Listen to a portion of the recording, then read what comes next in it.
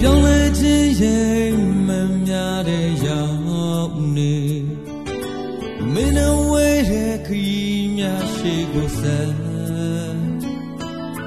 အကိုဟာအမောင်ဆုံးလမ်းတွေတယောက်တည်းရှောင်နေရ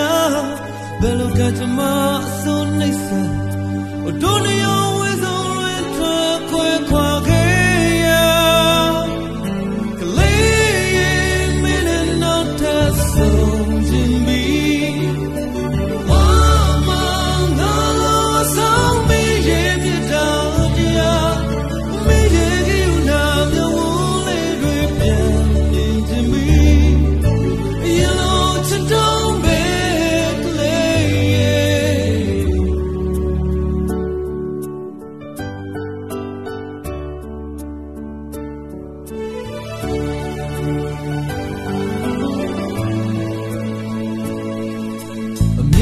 တန်တန်နှလုံးသားထဲမှာမင်းရှိနေ